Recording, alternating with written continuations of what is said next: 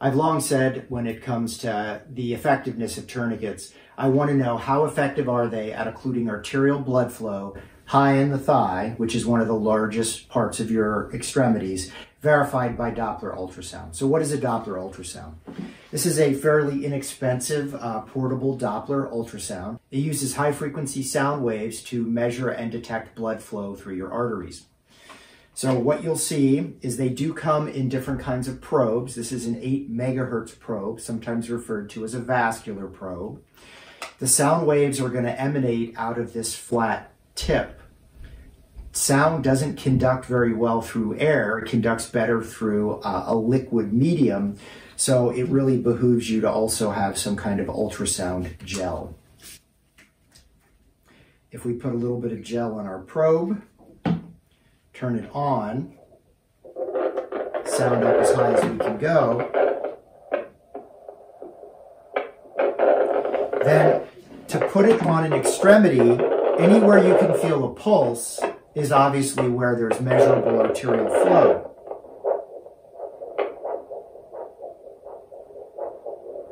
So that's my radial artery.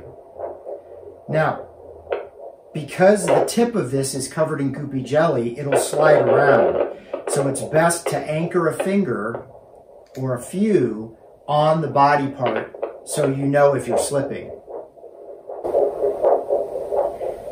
Right now we don't hear any blood flow because I'm not aiming the little laser beam of sound waves at my radial artery.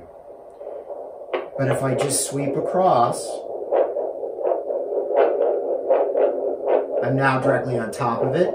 Sometimes we fan to make sure we get the best sound window.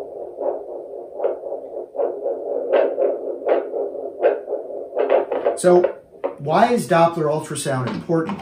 Why can't I just put a tourniquet on and say that my radial pulse went away? I lose the ability to feel my radial pulse long before the Doppler ultrasound can no longer measure blood flow through that artery.